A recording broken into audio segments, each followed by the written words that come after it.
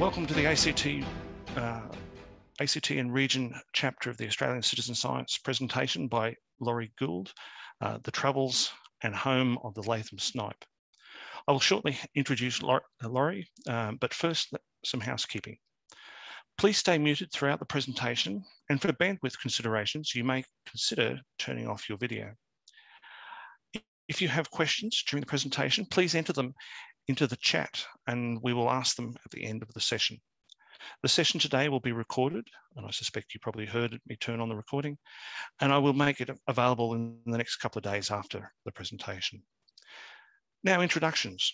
Laurie currently runs an environmental consulting business, Grassroots Environmental, uh, and specialises in natural resource management, particularly riparian rehabilitation, landscape planning, and community engagement.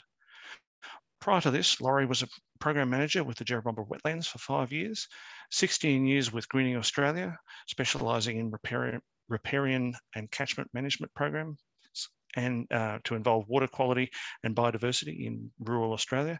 And before this, uh, with park, as a park ranger with the ACT Parks and Conservation Service for six years. Laurie holds a master's degree in um, integrated water management, a postgraduate certificate in river restoration and management, an environmental sciences degree, and an associate diploma in animal science. Laurie is also a fellow of the Peter Cullen Trust. Laurie started, um, Laurie started a PhD in migratory bird ecology in March 2021, uh, focusing on the Latham snipe uh, Latham's snipe at the Jerrabomberra wetlands after being involved with the research on the snipe for over uh, five years. Over to you, Laurie.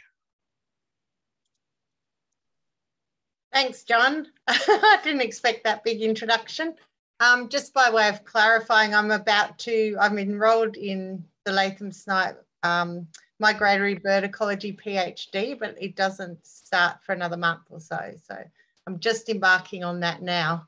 Um, and I wasn't going to do a PhD, but being like, this opportunity arose um, to study this this bird that I absolutely love, and so um, I leapt at it. So, not that I really needed anything else to do, but um, but yeah, I'm quite passionate about it, and it obviously is the topic of today's talk.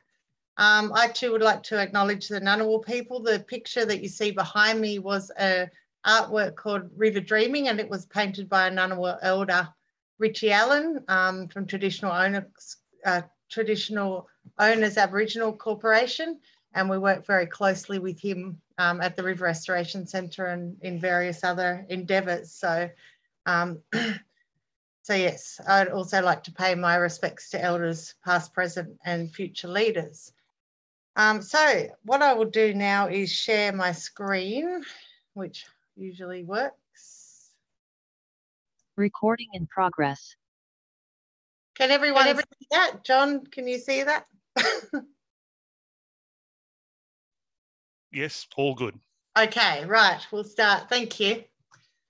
So the Latham snipe, um, I, I, guess in your, with, with the citizen um, science, probably have come across this bird in the past. It's a a cryptic little bird that's a caramel mottled colour with a really long beak. It's a wader bird that we actually share with Japan. So it's really interesting. It over in Japan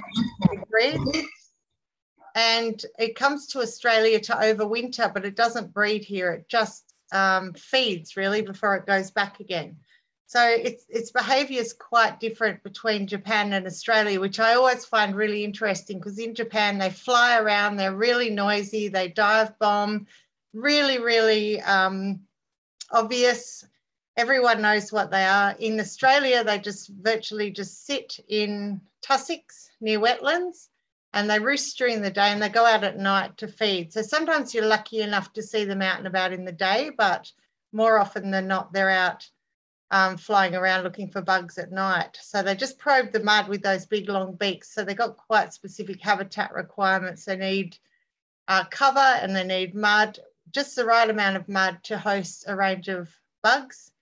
Uh, and they also need water nearby. So we have a lot of these birds at the Jerrabomberra wetlands, quite a stronghold, which is how we actually um, got interested in doing this project But before I talk about that, I will just tell you a bit of background about how the Latham Snipe project began.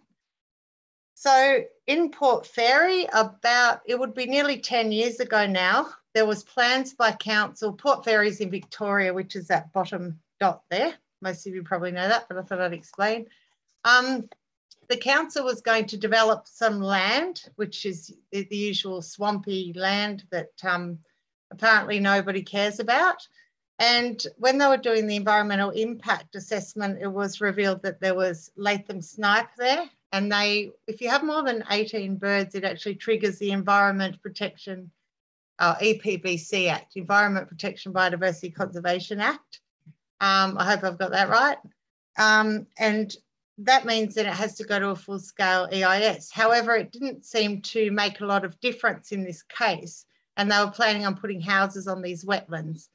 But luckily, there was the South Beach Wetlands and Landcare Group who really cared about these swamps and they went and engaged an expert. Her name was or is Birgitta Hansen from Federation University, but she's also in the Victorian Wader Wader Bird Study Group and she's um, held various positions in that organisation. So they called her in as an expert witness at the Land and Environment Court and they had a bit of a, a win in that they saved a wetland called Powling Street Wetlands. Uh, unfortunately, a lot of wetlands in that area weren't saved. They ended up being developed, but this important one was. And so even though the group feels like it's a mixed result in terms of the fact that some of the wetlands got developed, I think that given the stronghold of snipe in this particular area, it was actually quite a big win. It started the Latham Snipe project uh, and has since grown into a large national and international collaborative project with a huge community effort. And I think that's one of the features of the project, which I'll talk about as I um, move on. But um, by doing this, it meant that the community was behind protecting these birds. And so when we, at the wetlands in Canberra, Jerrabomberra Wetlands, got interested in finding out more about these cryptic little birds, the first port of call was to find other people who were doing similar work on the snipe. And interesting, we've actually, interestingly, we've now developed the Latham Snipe project, has no owner. Um, it's sort of a collaboration federate between Federation University and a whole bunch of other partners. So what I love about this is no one really owns it. It's just a sort of a, a project that we all work on. So the partners, we've got people, the Wild Bird Society of Japan, um, the Woodlands and Wetlands Trust to manage the Jerrabomberra wetlands. Australia Japan Foundation's been helping to support some of the activities we do. ACT Government, Rotary, uh, Victorian Wader Study Group, Federation Uni, the Landcare Group down in Port Fairy, and one of our biggest contributors and partners is the Canberra Ornithologists Group, who help us with just about every aspect of the project um, and quite a lot of them. So we've just got this wonderful collaboration of all different people. We don't have a logo fest, we just have the Latham Snipe project and everybody contributes in different ways. So similarly, everyone's welcome to get involved in whatever way is appropriate.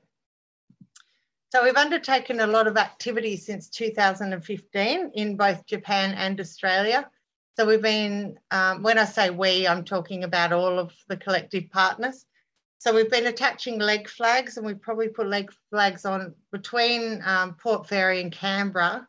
We're in excess of 150 birds, but the Japanese have put a thousand uh, leg flags. Interestingly, they put blue leg flags on and we haven't seen any blue leg flags in Canberra or Port Fairy, but our orange leg flags that we put on in Canberra, the birds return. So they come back to the areas that we, we flagged to them. So we find that really, it's a bit of a mystery why the Japanese ones aren't being sighted here. Um, we've also done satellite tracking where we fix real-time satellite trackers to birds. Geolocators are much cheaper than satellite, but you have to catch the bird back. They just uh, glue onto the leg flag. Radio tracking, where they have a little um, transmitter glued onto their back, their tail. Well, it's a bit further up the back on their feathers, and that molts off within a couple of months. So you just get a little bit of a window into what they're doing. We have surveys, really intensive surveys around Canberra, and we also have national bird surveys three on three specific days of the year where people go out um, and they have to do it on that one day so we don't end up with double counts and, and all the other um, issues about doing it across a broader time frame. Um, but there are hundreds of volunteers around. The, the birds, the snipe are really limited to the east coast, well, the eastern part of Australia. So not just the coast, but they're not really found around the west of Australia. So catching snipe, I thought I would, I'm going to talk about those things um, as we go, but I just thought I'd give you a bit of an insight into catching snipe because it is not an easy task. So, and you can see lots of different ages and, and um, all different people that come and help, um, including people from Japan that come to visit. And we also go to Japan to help them on occasion. But really, it's, it's a matter of, say, for example, spending Saturday night out in the swamp with the aroma of decomposition, half of Australia's insect population. You can't see very well, and occasionally you might get a wasp or a leak in your waders. So it's pretty intensive work. It's very hard to wade through the mud in the wetlands as well. However, in spite of that, we have a lot of volunteers that come and help. So I'm not sure whether it's the appeal of the Jerrabomberra Wetlands Centre, which is effectively a demountable. You can, you can see it there in the bottom left-hand corner. And you can have a, a floor space for free if you bring your own sleeping bag. So we get people camping out overnight. And what we need to do is we go and put the nets up in the evening. It can take until about midnight. They're mist nets. We leave them rolled up. We get about four hours sleep, go back out at four o'clock in the morning, unfurl them, then we wait another hour or so. We assemble the rest of the team and we flush the birds into the mist nets. The reason this works is because the birds go off to feed. So we watch them leave of an evening, we race out, put up our nets. And then when they come back in the morning, you've got a window of about 10 minutes to catch them. And we've got this down to a fine art. Um, I did learn, though, not to make okonomiyaki for our Japanese guests. They were very polite, but um, I'm not doing it again. We're all having Dom- Domino's pizzas, but anyone's welcome to come and join these catches. And at the end of the show, um, the presentation, I have my details. So if anyone wants to be on a list to keep up to date with what the project's doing or get involved, that's we welcome everybody in this project. Um, but to put it all in perspective, this may seem like hard work, but to catch the very first snipe down in Port Fairy took six weeks. So you can imagine going out and doing that for six weeks and not actually catching any birds at all. So we're very grateful for those people doing the hard yards in the first instance because now we have it down to a fine art. Um, in addition to going out all night catching the birds, um, we had we are satellite tracking. We had chest harnesses that we put on the birds. Um, and in order to make sure they were safe, we had to hold on to them for 24 hours. And to do that, we had to actually construct a whole wetland in the Jerrabomberra Wetland Centre. So this required everybody collecting mud and plants and water. And we had to go through the compost to get bugs and maggots and everything else that we could find. Um, to set up the set up a wetland, which ended up looking like that, which is a tent, the inner part of a tent. We had a GoPro set up so we could film and watch the birds without disturbing them. We covered up all the windows and no one was allowed in there um, unless there was an issue. So it was very dark in there. We were simulating night um, for the night that we were holding on to them. And then we would give them a good check and let them go in the morning. So we did this for a few years.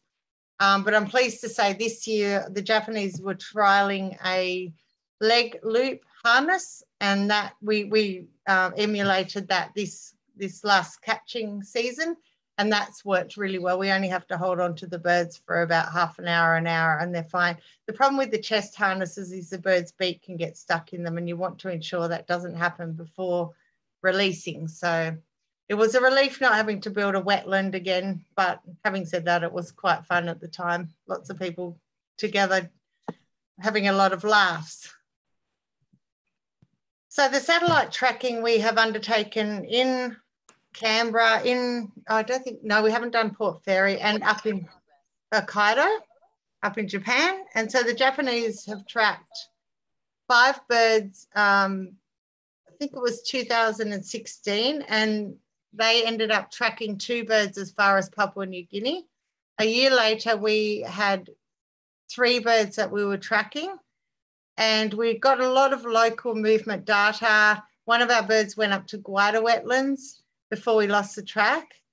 Um, the technology and the harnesses weren't as good back then, but it's interesting that we found that um, all of our birds, whether they're coming out of Japan or out of Canberra, it's interesting they seem to stage at a similar wetlands in Papua New Guinea. So that sort of opened up another line of inquiry. And then, um, and we've also found that they were actually hanging around in the cane fields up in northern Queensland, which was interesting. So it must have been a good, good cover, mud and water for them. But um, one of the really interesting things is we can demonstrate the use of habitat within the ACT, particularly with the wetlands being surrounded by a lot of development um, with East Lake and, the, whole, and, and the Molonglo group next door to the wetlands. So we can feed a lot of information into that uh, process of, of the EIAs and everything, environmental impact assessments, so that they have good data to make decisions on and we can protect habitat. Um, I'll just put the, so this year, we so the update to that is this year, the Japanese with their new leg loop harnesses released three birds. They all ended up in Australia and it's interesting when the birds come from, from Japan to Australia, the fastest one we recorded was three days it got here to Northern Queensland, which is, means it was traveling about the about 100 kilometres an hour and it's the second fastest recorded migration so that was really interesting. But going back to Japan, they can take months. Like our birds were, I think, a couple of months, and they'd got up, got as far as Queensland. So it's interesting. It, it must be to do with the winds. The other interesting thing is that the juveniles leave Hokkaido two weeks after the adults and come here. So we're not really, no one's really sure um, why or how they know where they're going. Um, still a bit of a mystery. But anyway, we can look into that a bit more. So the Japanese, interestingly, one of the birds came to Canberra and it settled itself, well, when I say Canberra, I mean the ACT, settled itself in Namadgi National Park, right down south near the border of the ACT. So the Wild Bird Society, the fellow's name's Tatsuya, the researcher there, kept sending all the updates to us, all the um, the locations of where the bird had been tracked to and we plotted them all. This this only this map here down on the bottom left only just shows a couple of them, but because the error margin in the data it can be a kilometre or more, we sort of did a bit of triangulation and, and the best habitat is the, that sort of little lower Boboyan swamp area near the old Boboyan Road, which for people who know is right down near Mount Clear campground. So me and my daughter went out and had a good look at the habitat um, which is there in the bottom right photo. It's really lovely habitat for snipe. We walked and walked and walked and we didn't see any snipe, but um, the habitat where the actual tracks were shown was sort of at the top of a hill in woodland areas with no water. So we sort of, we felt that that being in the middle of all of those tracks was a likely habitat. So it, what the beauty of the partnership with the Wild Bird Society is we could go down and have a look at that, take all these photos, and then we sent them back to Tatsuya so he could see um, where his bird was, um, for want of a better way of describing it. And of course, I sent a photo of myself and Kelly to him just to remind him because we've, we've been over there a few times visiting and helping him work on the snipe. So there's a lovely, um, you know, friendship developed and, and that sort of thing. So that's one of the things that I really love about this project. It's the relationships more so than the bird in some ways. And so um, that bird is now gone out to Kosciuszko National Park. Um, we're just waiting for the next lot of updates from Tatsuya. And our birds that we've tracked this year, when I say this year, we put the trackers on in December, we put trackers on three birds. Interestingly, it was the largest single catch we have had of Latham snipe ever in this project. And we think it's just because of all the rain. I mean, the some of the wetlands, we're getting in excess of um, 80 birds out on, counted out on the peninsula at the Jerrabomberra wetlands. And we've had 30 or 40 um, in areas where before we would be lucky to count five. So there's certainly the rain we think's had a lot to do with that. Um, so just by way of explanation, um, the squares are ELF 50, which is one bird, which we called Kenma, which means healthy in Japanese. And then the triangles are ELF 51, which we called Natsu, which means summer in Japanese the lead researcher, Birgitta Hansen, hates naming the birds because she's she's superstitious, so she gets annoyed. But the kids and everybody love coming up with names. So we've pretty much named. We've had Nozomi, which means hope, and Tsubasa, which means wing, and we've got names for all of our birds. But communicating with Birgitta, I we get it in ELF 50s or ELF 51s. So the picture shows the blue is the midnight fixes. So you can see they're up north of the Jerrabomberra wetlands near what we call the paleo channels. And that's where they're feeding. So there's it's it's kind of a rotationally grazed area with cattle and they pug up the dams up there. They're they're actually um, at the wetlands to manage the height of the grass for the snipe, believe it or not. Um, and the landholder that has those adjusts those cattle there just moves them around upon instructions from the ranger. Um, but they do love the mud. They love feeding in the mud. And then during the daytime, which is green, our midday fixes, they're all roosting up around Kelly's Swamp. Uh, and they particularly love the Billabong area. I'm not sure if you can see my pointer, possibly not, but the four triangles that are down to the south, southern end of the map um, they really love roosting there. And the importance of that is that the area next door being developed um, needs to take into account the impact that any kind of access may have on the birds that roost in that area during the day. Uh, they don't mind light, they don't mind seem to mind noise or construction, but they really hate being disturbed by people or dogs or anything. So we've been able to use that data to feed back into the environmental impact assessment for the development of that area. So it's been very, very useful. So we're, these birds are still out and about and we provide updates every so often. So as I said, if you want to um, be on the list, it's just an email out from me, um, just telling people where the birds are and providing maps. And lately, now you might have to look a bit closely, but um, Kenma has decided to leave the wetlands and go over to the National Equestrian Centre down in the bottom left of the screen there, the squares, the blue and, and it seems to be spending night and day in that location. So that's really interesting. Whereas Natsu is still hanging around at the wetlands. So we're finding it all very interesting because none of our birds before have actually left the wetlands. So we're just watching that. And, and like I said, I just provide updates every, we get the data maybe once a week or something, and I provide an update every two or three weeks if anyone wants to find out more as we go along. I'm heading out there on the weekend to have a look at the equestrian centre just to see where they're hanging around, but it looks like there's a, a, dam out there with some good vegetation around it, which we'll have a look at on the Cotter Road. And then we've got the geolocator. So the satellite costs about $6,000 per tracker. Uh, so you can imagine it's not a cheap option. Whereas the geolocators only cost about $300 each. So our way of thinking is one of the big findings that we've got from all of this work, particularly the leg flag resightings, is that our birds come back. So we put a leg flag on, it flies to Japan, and then they come back again to the same place. And we've had about seven birds do that. And they, but they've also been resighted often at the wetlands, um, you know, several times a season. Uh, so with the geolocators, we thought, well, if we put quite a lot of them on, and as I said, they're just glued onto a leg flag, so they don't harm the bird in any way. Um, we thought we'll put a lot on and hope that we'd just catch the occasional one back. Um, very long shot, I must say. But amazingly, T0, which is the very first bird that was ever caught in Port Fairy, that took six weeks to catch. They affixed it with a geolocator and that was one of the birds that they recaught and they recaptured it 100 metres away from where they put the geolocator on the bird. So everyone was astounded.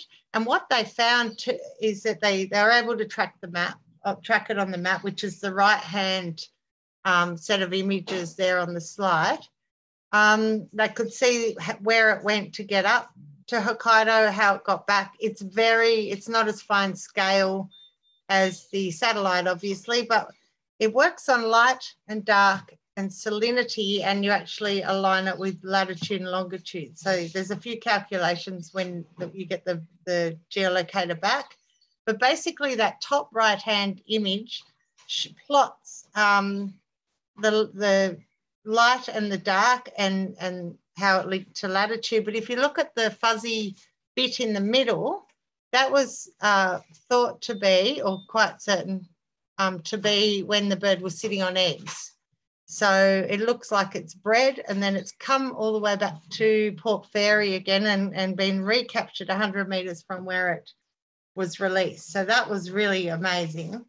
But then in Canberra, a few couple of years later, we actually had the same experience. So we caught, we recaught a bird with a geolocator and then we could plot its flight path. And you can see the picture on the left. It's not, plotting is not all that straightforward or particularly accurate. Um, there's a huge margin of error, but you can actually work out where the bird went.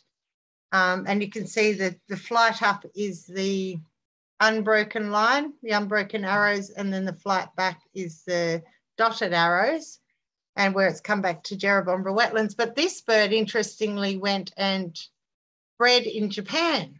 So we didn't know they went that far north to breed. Um, a lot of this work with, with this project is the first, you know, uncovering of a lot of information about snipe, which wasn't previously available. Um, so yeah, so Birgitta's made contact with, I think there is an interest group in Russia because unfortunately in Russia, a lot of people still shoot snipe. So she's been working with the Russian bird enthusiasts, and I can't remember the name of the group, to just find out more about the snipe and, and ways in which we can conserve it. So that's really exciting news. So we're hoping now uh, between the Japanese tracked birds and our tracked birds, of which one um, satellite tracker has actually stopped um, transmitting. So we've got two birds that we're tracking and then three from Japan. So we're hoping we can get a migration in satellite, but at the moment the geolocators are proving quite useful. The other really important thing about the satellite is you get the local movements and local habitat data for reasons, as I mentioned earlier, about developments and other uh, feeding into the migratory action plan in the ACT that's been put together, of which SNIPE are a, a central feature. So apart from the geolocators, um, the biggest thing we found, apart from the site loyalty um, and local movements and also how to catch. So they're the big things we found. But then we thought, well, we don't have a lot of data about snipe in the ACT and their occurrence. All of the information in the Migratory Action Plan um, in the ACT was about records and records don't necessarily determine um, how many birds there are in a site. It, it's, it really just shows you effort. So for example, Jerrabomberra Wetlands has a lot of records for snipe because lots of people go there and see them. Whereas out at Namadgi National Park, for example, you know, there's the odd record, but it's mainly because we've not got the same survey effort out there.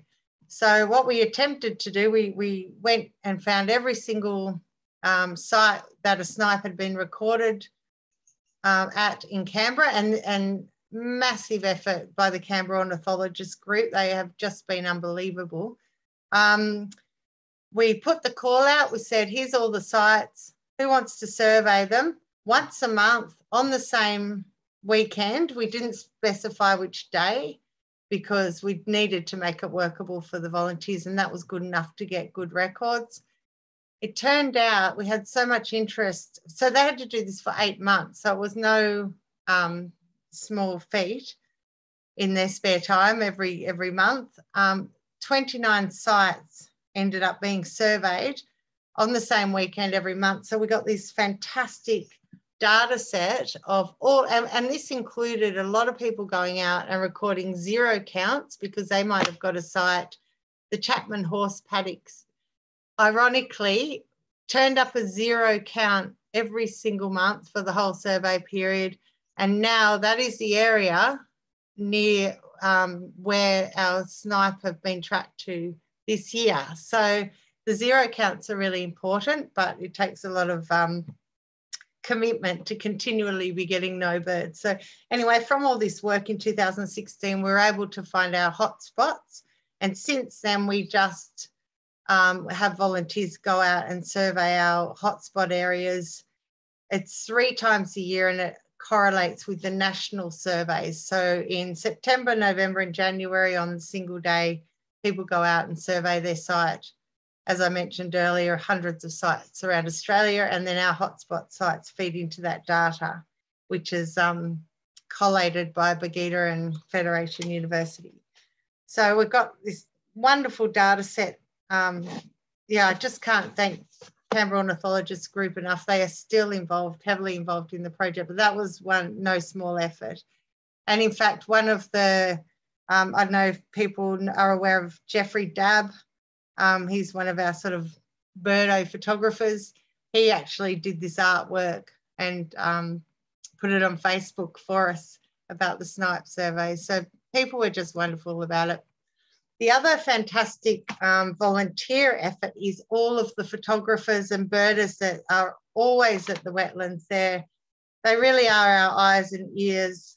Um, you know, they get these amazing photos. They can, and what we keep saying to them, if you're going to get a photo, can you please try to get the leg flag number, which is just brilliant. And you can see in those photos you know, you can clearly read the number and, and we're just getting some wonderful photos from them. So um, we take, we've took, taken the approach with the volunteers. Um, we've got, we, we always openly communicate with everyone. There's a bird chat line, regular communication, what's and all, when things go wrong, um, everyone knows about it because what we've found is by building that trust with the bird community, when we do need their help in finding a bird or reporting any issue, um, if there's a problem with one of the birds, because we've built that trust, they will come and help us to resolve it rather than, um, which is what often happens is if people don't have enough knowledge, they get worried and then um, things can blow out of all proportion. So the people that get around the wetlands really have been invaluable. And so what we ended up doing um, is making a tea towel and some socks to go with the project. So these were um, designed by volunteers and the tea towel on the left, the, the, the wording there is oji shigi, which is Japanese for, for Latham, they don't call it Latham snipe, they call it the great snipe. And it, it shows the orange leg flags of the birds in, in Australia and the blue leg flags of the birds in the, the put on in Japan. And so we sell, we well, we, we haven't recently, but we were selling the tea towels to raise money for the project, as well as the socks, snipe socks. And um, so, for example, the ACT government bought 200 tea towels to give to everyone that attended the Landcare Awards in the ACT with a little card that explained about the project. But um, we also give them out as prizes to our um, bird photographers and everyone else when we're looking for a specific bird. So we might get a report of number 74 snipe and then we put the word out and say, can someone get a photo of the leg flag? And, and we also sometimes throw in the odd bottle of champagne if it's if it's something we really want. And, and it's become a really light-hearted um, engagement um, process with everybody. Um, and when we went overseas, we actually presented the mayor of Tomakomai in Hokkaido with a tea towel, and he was incredibly happy with it. But um, I'll show you a photo of that in a minute. Oh, it's on the next page. That's handy. Um, so there we all are. Um, we took, we had it, we, the Australia Japan Foundation provided some funding for us to take some young rangers, so five kids to Japan um, to inter interact with the school children in Japan. It was all about international relationships. Um, we visited schools, we talked to researchers, we went and visited politicians, and the purpose of which was to raise awareness about the importance of Latham snipe and um, the importance of protecting habitat. So we were interviewed by their news, the, the, mayor, who is in the top two photos there. That's us presenting one of our tea towels to him. Um, he was incredibly interested and he was so proud to have the bird in his part of the world, in Tomakomai and the wetlands up there. And he ended up, and, and it was good for the, the Wild Bird Society of Japan because it gave them reason to get an audience with him as well. Um, obviously, we all had a really fun time while we were there, but um, we had this great uh, opportunity to share information about our bird. Uh, there we all are in the field. And in fact, that left-hand photo is Tatsuya, the researcher that we work with. Funnily enough, when we were staying at Lake Utonai, which is in Tomakomai, the park was closed because there was a bear on the loose. So we didn't get to spend a lot of time in the outside of the wetlands centre, which was beautiful, I might add, with lots of telescopes and everything. But um, but yeah, it was became a bit of a joke that people kept trying to sneak in the park to look at the birds in spite of the bear. But it was a wonderful experience. And then uh, the young rangers in Japan, who we'd spent time with a year later, decided to come to Australia in a similar program. They were funded through their equivalent. Um, and so they brought 14 kids out and a number of parents, and it was just fantastic the tricky thing was, though, that it was in the middle of the bushfires in Canberra. And in spite of me saying you can't breathe the smoke and everything else, they were still really keen. And they were only coming to Canberra and they were only coming to spend a week to get to know about the snipe and to come and see some, some things in Canberra. So it, here they are in the smoke haze. Um, but we managed to get them out and about to Mulligan's Flat and to the Botanic Gardens and other areas where they could actually just go and, um, you know, see some birds and have a look around. But nearly every every facility was closed because of the smoke. So places like Questacon and other other attractions that we might have otherwise shown them were actually um, closed. But we, we we all had such a great time. Uh, and so that those relationships are still in place. And, and if it wasn't for COVID, I suspect we probably would have been back again. We're just waiting to see what happens in that space. I'm hoping in the next three years with the PhD will be opportunities to go and work with the Wild Bird Society again. Um, so the outcomes of the project so far is that, um, as I mentioned, we've learnt to catch snipe, which is massive. We've learnt they're very loyal to their sites. Um, we've got a lot of information on local movements and the importance of local habitat around the Canberra region, but we also have lots of information about numbers in different parts of Australia that are now comparable. We know the hotspots in Canberra. Now, one of the problems with our Canberra hotspots is that we only know the lowland areas. So the gap that we're trying to fill at the moment is the higher country. So up around Namadgi, we're trying to survey sites uh, in that part of the world. The problem is they're so vast, some of those swampy meadows and wetlands that um, we, we have done surveys, again, with Canberra Ornithologist Group in Orroral and Nursery Swamp and Boboyan. Um, we haven't quite got the sort of, I guess, the uh, and interestingly, the sites we chose, which we thought would be good, are not the sites that the bird from Japan has travelled to. So we need to do a bit more work in that area. Um, we've worked out our tracking methodologies with the geolocators and the, the satellites, and we've also now got the leg harness, leg loop harness, which seems to be working really well. Um, and we've also been able to feed into development areas like the urban wetlands, um, There was some habitat that needed to be replaced on Horse Park Drive, which was already half built. Uh, the developers there were happy to reconstruct that wetland habitat with the information. Similarly, with the Billabong area at Jerrabomberra Wetlands, um, plans to put paths and things close to that area are now being rethought on the basis of this data.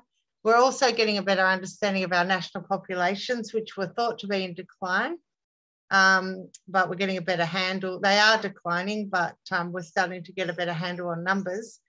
And the idea of, of working on this bird and getting to understand what its needs are, apart from within the context of migratory birds more broadly, is that they're, they're a bird that isn't yet they're protected as a migratory species, but they're not yet threatened or vulnerable. And we're not, we, we've got a decent population that if we intervene early and understand early, uh, are at less risk potentially of, um, of, of declining in numbers that are unsustainable. So um, there's a lot going on and I really encourage anyone who wants to be involved in this project. You don't have to do any more than just keep up to date. You can get involved as much or as little as you want. Um, people come in and out. We've got a core team that seem to come every catch, but people will just come and go as they've got time, and and that's fine. So we've got a really open-armed approach to the project. So that it, there's a Latham Snipe project um, website, which we put a blog on, we, the collective we, it's usually Birgita, um, put a blog on about once a month to keep up to date with the broad national program and international program. And then if you email me, um, I can put you on my list, which I just update people sort of in, in the region. And that's more fine scale, what we're doing at the wetlands. Do you want to get involved? Um, all of that sort of thing. So I will leave it at that. Um, and thank you for listening. And hopefully, I will see some of you in the next few years. Thank you. Well, thank you for that, Laurie. Um, I'm sure I, have certainly certainly learnt lots. One that you know, if not carefully, going to get caught for speeding coming coming down from Japan in three days at 100k an hour. I know. Um, so we've had a couple couple of questions come out of the out of it. Um, Vlad uh, was uh, wondering if anyone was aware of any similar volunteer programs around Sydney, um, saying he'd like to get involved. He did get some responses, but are you you might be able to um, provide any uh, other information? Um, I'm not sure actually. I know um, we are mainly in Victoria and the ACT. I'm just not sure. We haven't got anyone in Sydney that does any similar work, but that doesn't mean someone else doesn't do something. it might not be yeah. on Latham Snipe, but I'm sure if you get in touch with your local bird groups, or I know there's some really active people around Bowral um, who we work with, but um, yeah, I'm sure there'll be something, some projects down that way that have a similar yeah, feel. Based, based, on friends of mine, those that get involved with bird watching are, are keen to be involved in more bird watching um, and all sorts of things like that. Yeah. Um, another question we had was what height are these birds flying across oceans? Gosh, I couldn't tell you that. That would be a Birgita question. I will put that, I'll, I'll, feed back that information to you and you can email it out if you like. If, yeah, if you can, I'll include it with the, um, yeah, video I couldn't link when, tell you the the answer to that. Yeah, yeah, I'll note down here to follow up. um, Vlad's also um, said basically well done um, on the, the, the development of the relationship between volunteers in Australia and Japan and the students' involvement. Uh, so we've got one from Andy. Um, great project to mark the importance of bird conservation. Did you get any interest um, from the pollies? Yeah, so we do a lot of um, we do a lot of sort of media, and um, so we do a lot on the, with the ABC, and there's been television um, stories on it, and there's been a documentary made about it. We had television crews following us around for one of our, well, for a whole week, really. They even came to our house, just following us and the, the Japanese researchers around. So there's been, a, I guess, a lot of coverage, and that's translated into getting funding from the ACT government ongoing um, for at least, I think it was three years or something in terms of the migratory action plan they developed. And at the federal level, it tends to be the Australia Japan Foundation and DFAT. Um, more broadly than that, not so much. But I guess, and, and certainly in Japan, there's been a lot of political interest. But I think here we haven't, we probably haven't pursued that as much as we could because we were still able to achieve what we wanted to achieve with what we had. So um, yeah, there's certainly a, a, number of mainly local politicians aware of it because whenever they need a, a, good news story or something, they'll approach us. Fair enough.